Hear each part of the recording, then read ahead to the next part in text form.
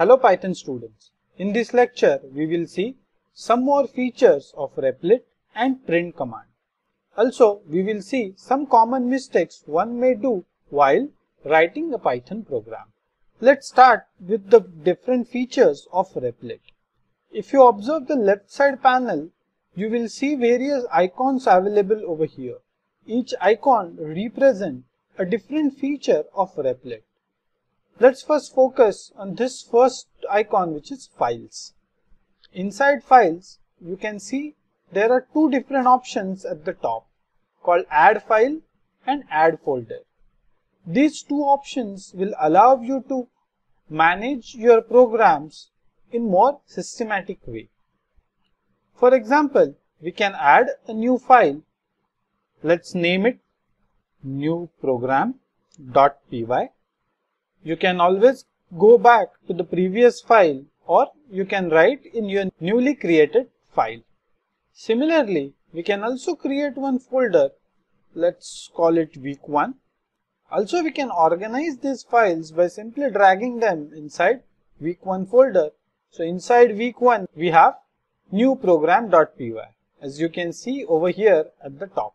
Similarly, we can keep adding such files in a folder or outside the folder. This particular feature of Replit allows us to create multiple programs and organize them in a systematic manner. Next, it has other many features like version control, packages, some secrets, settings, databases, unit test. But for now, we will explore only one part of it which is settings. So if you go to settings, the first is layout. The default layout is side by side, but we can always change it to stack.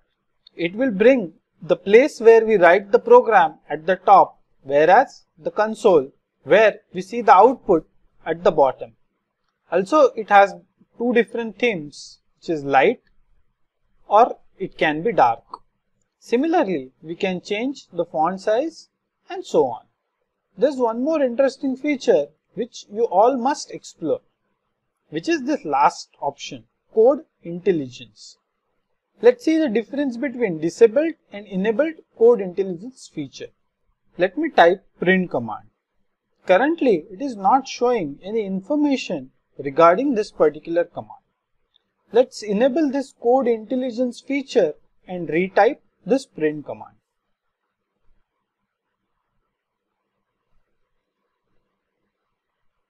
If you observe, we are getting various different options and it also provides the detailed information of this particular print command.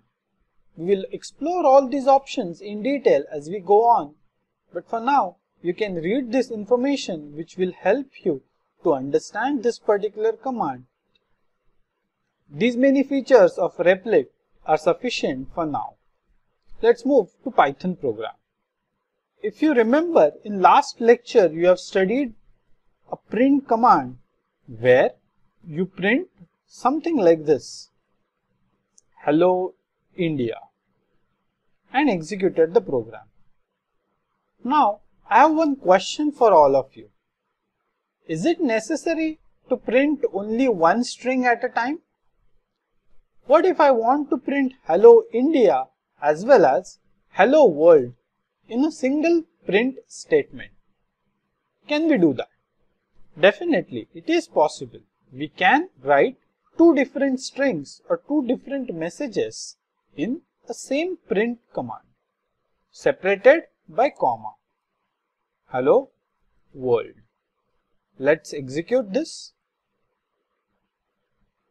As you can see, it is possible to print a different messages using a simple print statement separated by comma. Similarly, we can add one more command as well. Hi Python students. As you can see, it is printing all three messages one after the another in that same order, which means the order is very important. The first message gets printed first the second message appears next to it and then the third message and so on. So print is pretty flexible with respect to this where we can print one message at a time or it also allows us to print multiple messages. Let's ask one more question. Is it necessary to print only messages over here? Or can we print some numbers as well? What if I write something like print 10? What will happen if I write print 10?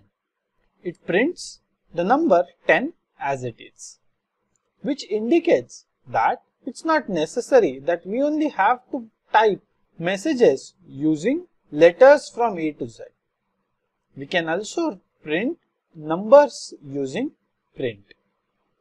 Now you all must be thinking, is it necessary to print only whole numbers or can we print fractional numbers as well? Let's try it. 20.5. Let's execute. Yes, we can. We can print strings, we can print whole numbers or we can print fractional numbers using print.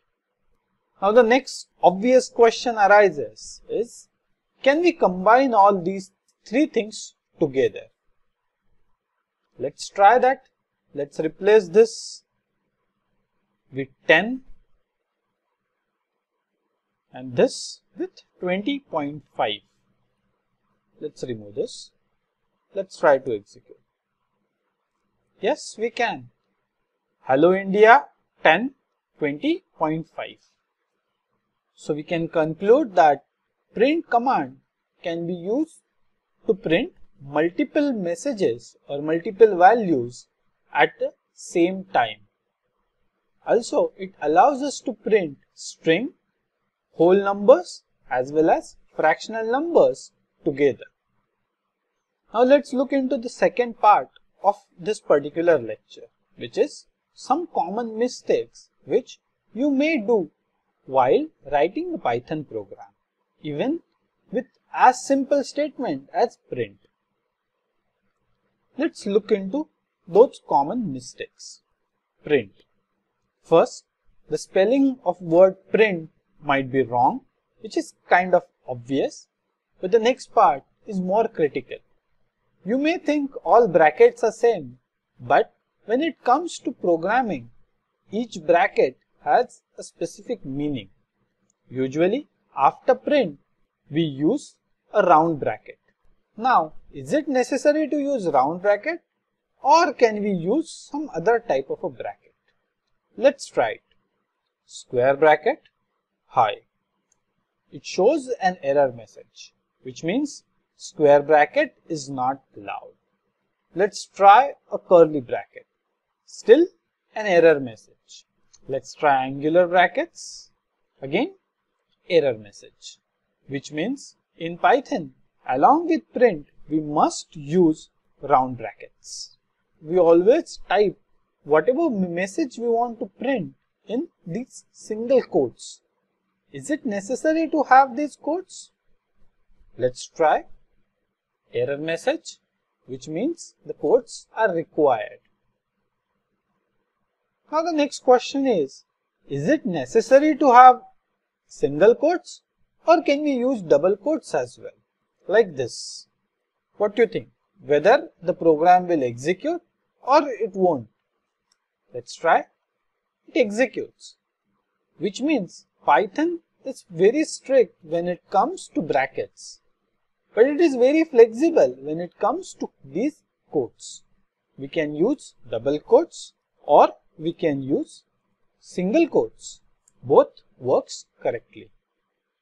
Only requirement is if you open a double quotes then you must close with double quotes and if you open single quotes then you must close with single quotes.